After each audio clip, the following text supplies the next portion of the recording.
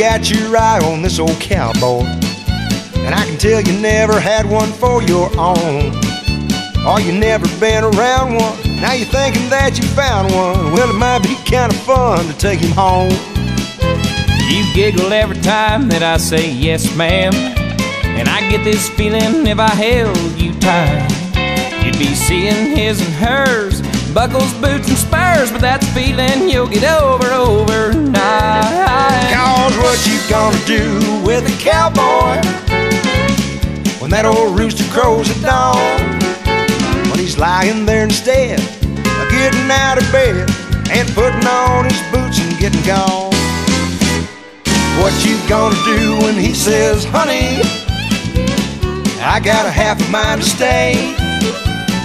What you gonna do with a cowboy when he don't saddle up and ride away?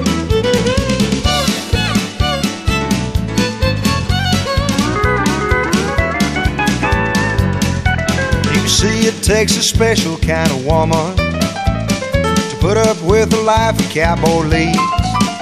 Cause his boots are always muddy, and his beer drinking buddies, they'll camp out on your couch and never leave.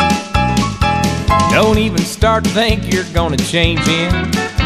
You'd be better off to try to rope the wind.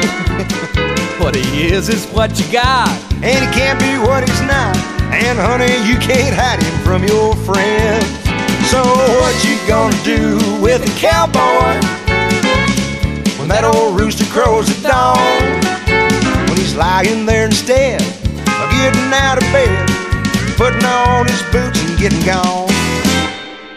What you gonna do when he says, honey, I got a half a mind to stay? What you gonna do with a cowboy when he don't saddle up and ride away? Yeah, what you gonna do with a cowboy when he don't saddle up and ride away?